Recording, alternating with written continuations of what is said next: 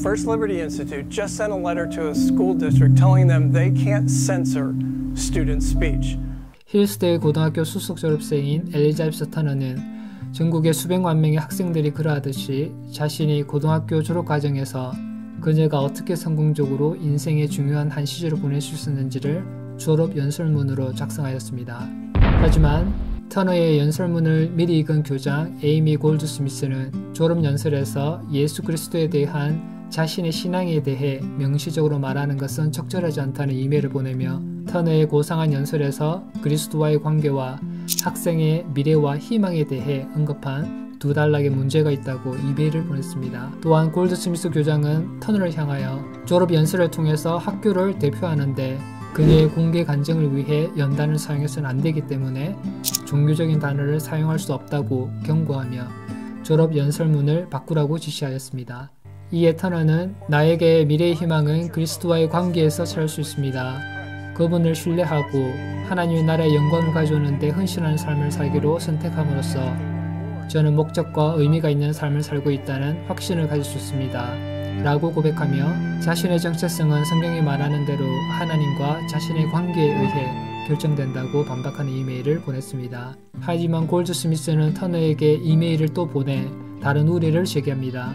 이번에는 연설이 종교적인 내용과 더불어 죽음에 대한 내용을 포함해서는 안 된다고 또 한 번 수정 요청을 합니다.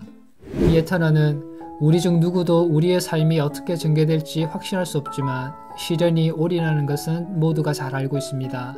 우리는 예측할 수 없는 미래에 직면하고 있으며 미래를 준비하기 위한 모든 계획을 세우는 동안에도 우리는 궁극적으로 그 누구도 내일을 기약할 수 없으므로 오늘을 더 중요하게 생각해야 한다 라고 주장하며 죽음과 관련된 내용을 오히려 현재를 강조하기 위해 사용하였음을 한 번 더 강조합니다.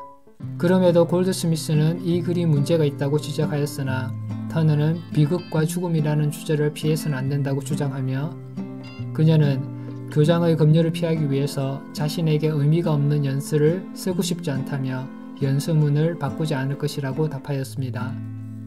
이 일은 결국 법적 소송으로까지 이어졌고 소송에서 퍼스트 리버티의 법무팀은 엘리자베스가 자신의 신앙을 표현할 헌법상의 권리가 있다고 설명하며 법과 대법원의 지난 판례에 따라 학생의 졸업 연설은 학교를 대표하는 정부 연설이 아니라 사적이고 법적으로 보호되는 연설이라고 주장을 하였습니다. 결국 미시간 교육감인 션 본드라는 소송이 시작된 지 하루 만에 지역 뉴스 매체에서 그녀의 연설문을 읽어보았는데 연설 내용이 절대적으로 적절하다고 결론을 지었다고 말했습니다. 이런 케이스는 엘리자베스 터너뿐만이 아니라 미국 곳곳에서 일어나고 있는 일입니다.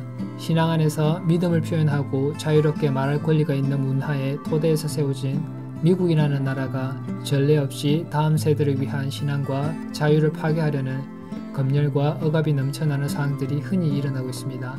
이는 미국의 나에게 미래의 희망은 그리스도와의 관계에서 찾을 수 있습니다.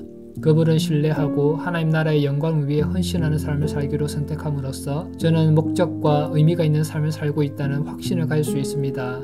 라고 고백하는 엘리자베스 터너의 고백은 세상과 타협하고 돈과 명예 그리고 자신의 삶이 목적이 되어버린 수많은 기독교인들에게 참 기독교인은 어떤 삶을 살아야 하는지를 자신의 삶을 통해 우리에게 알려주는 것만 같습니다.